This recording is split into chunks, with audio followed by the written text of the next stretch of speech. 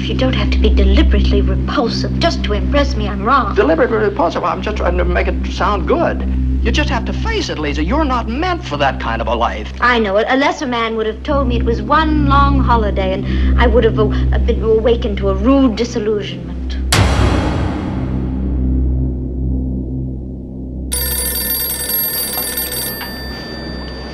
Hello? Did you get my note? Well, did you get it, Thorwald? Who are you? I'll give you a chance to find out. Meet me in the bar at the Albert Hotel. Do it right away. I'm at the Albert now.